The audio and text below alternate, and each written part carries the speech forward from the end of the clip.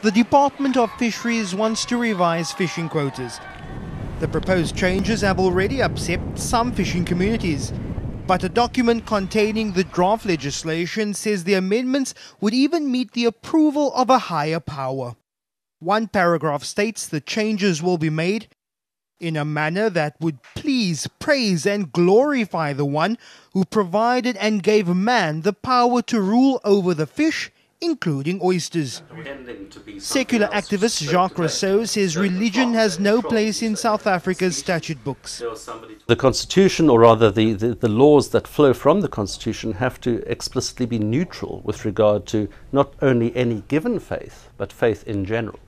The Fisheries Department says the religious wording was unintentional. Look, uh, that was an uh, uh, honest mistake from an overzealous official. This particular official who added a, one phrase about God into, into this policy has been reprimanded uh, severely. The Department of Fisheries says the policy in its current form is not gospel and that the religious wording has already been removed for an updated policy document. Lester Kiewit, Cape Town. News that moves. ENCA.com.